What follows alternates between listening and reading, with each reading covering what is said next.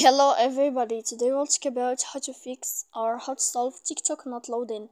To know how to fix or how to solve TikTok not loading, you should just go to settings. Here in this page, you click apps, default apps, app settings. When you'll find this page, you'll enter to the window of uh, TikTok and you will click. Here in this page of app info, you will click on force stop and you will click OK. Then we'll enter to storage. After that, we click clear cache I don't uh, I don't click here clear data because that can make errors or problems on your app. And uh, then you can turn off your phone.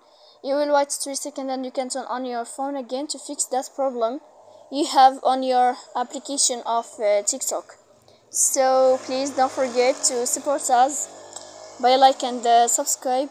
See you next time in another video and uh, thank you for your attention and you are watching. Goodbye